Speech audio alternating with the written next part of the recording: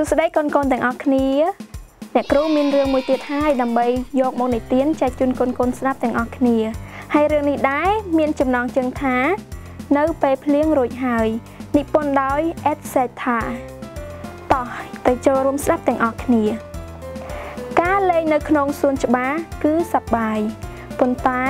តើមានអ្វីកាត់ឡើងនៅពេលដែលមេឃភ្លៀងប្រហែលជាភ្លៀងមិនមែនជារឿងដែលអាក្រក់នោះទេទោះបីជា បងប្រុសរបស់ខ្ញុំនិងខ្ញុំចូលចិត្តលេងនៅសួនច្បារណាស់ថ្ងៃមួយមេឃចាប់ផ្ដើមធ្លាក់ភ្លៀងមួយរំពេចខ្ញុំក៏ប្រញាប់ទៅរកកន្លែងច្រកប៉ុន្តែបងប្រុសខ្ញុំនៅតែលេងដដែលខ្ញុំមិនចូលចិត្តភ្លៀងទេ វាធ្វើឲ្យមេឃស្រអាប់និងគួរឲ្យខ្លាចវាធ្វើឲ្យខោអាវខ្ញុំសើមហើយក៏អាចធ្វើឲ្យខ្ញុំឈឺទៀតផង បងប្រុសរបស់ខ្ញុំ បានធ្វើឲ្យទឹកសាច់ដាក់ខ្ញុំ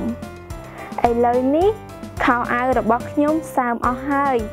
ហើយខោអាវបងប្រុសខ្ញុំក៏សើមដែរប៉ុន្តែគាត់មិនខ្វល់ទេគាត់នៅតែលេងយ៉ាងសប្បាយចឹងបងប្រុសបានបក់ដៃហៅខ្ញុំ រួចក៏រត់ទៅផ្ទះអត់ទេទៅទាំងភ្លៀងនឹងឬតើខ្ញុំគួររត់កាត់ភ្លៀងឬទេ ខ្ញុំមិនចង់សើមខ្លួនទេប៉ុន្តែខ្ញុំក៏មិនចង់នៅម្នាក់ឯងក្នុងសួនច្បារដែរផាច់ផាច់ហឹមសត្វតែភក់លោតលោតអូមានទឹកដក់គ្រប់កន្លែងហាលេងទឹកភ្លៀងសបាយណាស់ភ្លៀងរាំងហើយដល់ពេលត្រឡប់ទៅផ្ទះវិញហើយ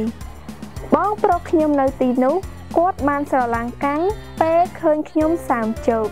ហើយប្រឡាក់សុទ្ធតែភក់ប៉ុន្តែខ្ញុំសប្បាយចិត្តហើយខ្ញុំចូលចិត្តលេងទឹកភ្លៀងរឿងរបស់យើងចប់តែប៉ុណ្ណេះជួបគ្នាពេលក្រោយអរគុណបាយបាយការនិទានរឿងនេះដែរនាំមកជូនដោយអង្គការ SA Action និងសាលា ILEC អន្តរជាតិជួបគ្នានៅរឿងក្រោយបាយបាយ